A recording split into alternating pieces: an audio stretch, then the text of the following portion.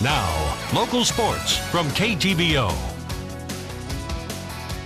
Good evening, everyone. The Ottumwa girls tennis team looked for win number one of the season against Des Moines Hoover. A matchup of number ones. Hoover serving after a volley. Ottumwa's Carolyn Carlson is able to put the ball in the right spot and wins the point. She took the match in two sets, 6-0, 6-0. The Bulldogs number twos now, Roxana Zeladon serving deuce. A nice power shot gives her the point. She would win 6-2 and 6-1.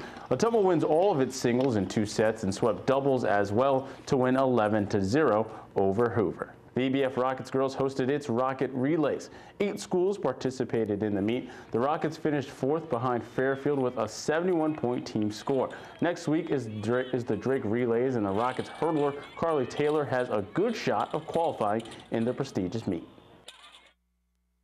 Oh, I think it'd be fun. I don't know, a little nerve-wracking. I've never been up there. Well, I was up there last year, but it was in a 4x1, not in an individual, so I don't know, I'm nervous.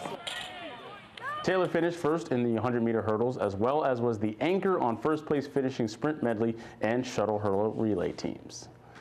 After beating Iowa Western last night, Indian Hills softball has clinched its Region 11 title. The team now prepares for sophomore day against Muscatine for its regular season finale. Nine Warriors will be recognized during the doubleheader at Hellier Field. Ending their home careers with a win will be the proper send-off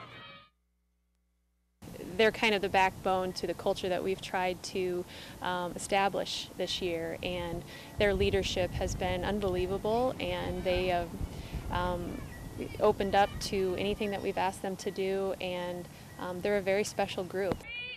First pitch is scheduled for 2 p.m.